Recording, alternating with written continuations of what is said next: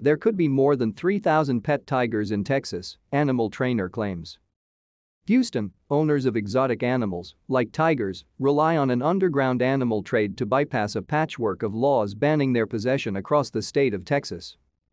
According to one animal trainer, who has owned a variety of exotic animals, there could be more than 3,000 tigers alone in the state. To stay up to date with latest top stories, make sure to subscribe to this YouTube channel by clicking the button above this video.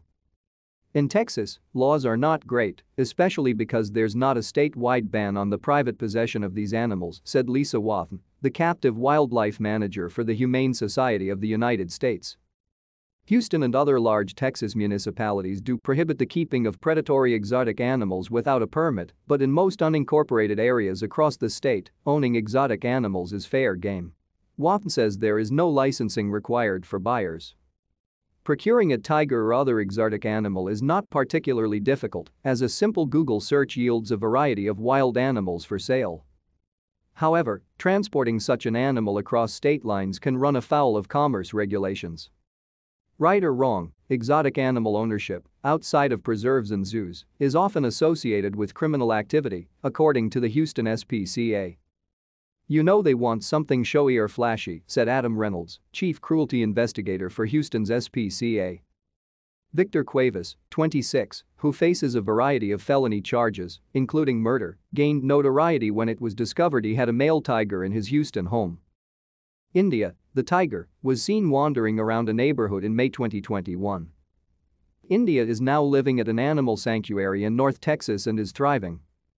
Reynolds' team often assists law enforcement in the safe recovery of exotic animals found to be living in substandard conditions.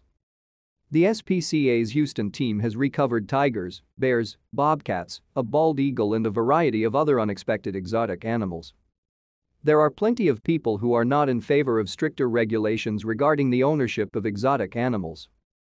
They're not dangerous animals for people who are trained like myself, said Tricia Meyer, who has owned and trained a variety of exotic animals, including tigers.